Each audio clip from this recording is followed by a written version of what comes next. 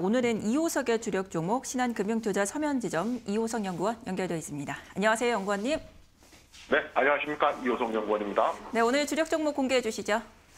네, 오늘의 주력 종목은 뭐 클래시스, 하이로닉, 제이시스 메디칼, 루트로닉입니다.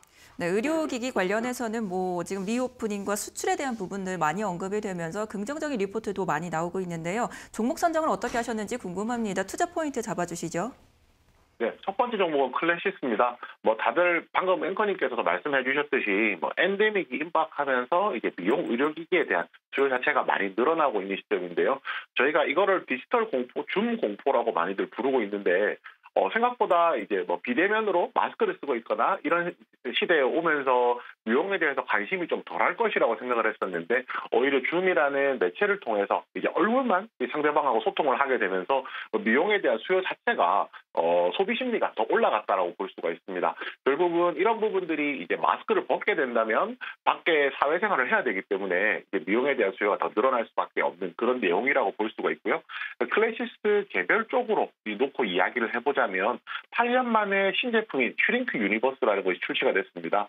이 슈링크 유니버스라는 것이 어, 이제 8년 만에 출시된 신제품이기도 하고 1월부터 판매가 되었는데 1월에만 한 200대 정도 현재 판매가 된 상황이었고요. 그리고 올 한 해 동안 한 950대 정도 판매 전망을 하고 있습니다. 이것이 매출액 한 250억 정도를 지금 올려줄 것이라고 기대를 하고 있기 때문에 이에 대한 기대가 좀 굉장히 크다라고 할 수 있습니다. 그리고 클래시스 같은 경우에 이제 최대 주주 변경이 있었거든요.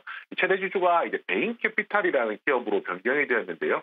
그 베인 캐피탈로 변경되면서 뭐 우려감도 있었지만은 오히려 장점도 있다라고 할 수 있습니다. 이 베인 캐피탈이 이제 글로벌 투자 전문 인력으로 좀 구성이 되어 있어서 앞으로 이제 글로벌 네트워크를 활용해서 북미라든지 뭐 중국 시장을 공략하는 데 있어서는 조금 뭐 최적화된 이제 어, 최대 주주 교체가 될 것이라고 좀 기대를 하고 있습니다.